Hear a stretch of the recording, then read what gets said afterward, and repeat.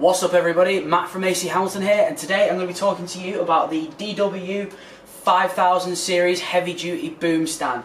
Now this boom stand is basically a stripped back version of the 9000 series boom stand, okay? So what you get here is everything that you need without any excess weight or excess fat. They basically trimmed everything down so it's really easy to use but it's still got all the quality and all the necessary bits that you might need to be able to have a really good boom stand, okay? Now I believe every drummer should have at least one boom stand in their arsenal of cymbal stands because they're really, really useful to have, okay? You can kind of, you can put them pretty much anywhere, like if you unscrew them, you know, you can move them pretty much wherever you like. You can unscrew that one there, which moves it up and down, or this one here.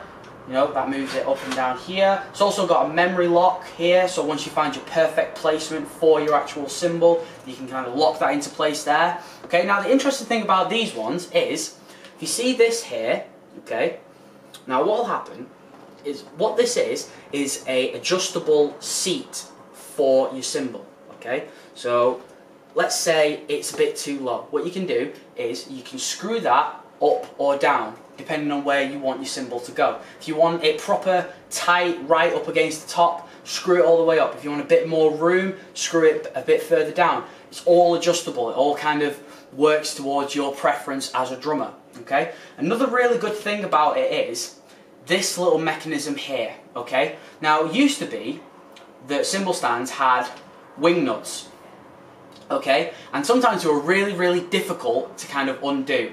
especially during shows, like if you're playing and your cymbal falls, okay? That was a big drawback with those because the cymbals used to just fall and you'd have to go around, pull it back up, tighten it back up, and it, just sometimes used to hurt your hands. It, it just wasn't a good thing. DW came up with this little mechanism here. Now, with this, this was designed so you can do it from your drum kit. You can literally just reach out, pull, move it back, and then put it back into place. Okay, so what you do, just pull that up, and there you go. That's completely, that just moves now. So you get that into the place that you want it, put it back down. It's also got this little nut here, that if you tighten that up, it's another memory lock. So if you tighten that right up, that will basically just stay there. That won't move anywhere. Same with this here, another little memory lock. Once you've got it in the perfect place, tighten that right up. Now you've got all your usual bells and whistles, like I say.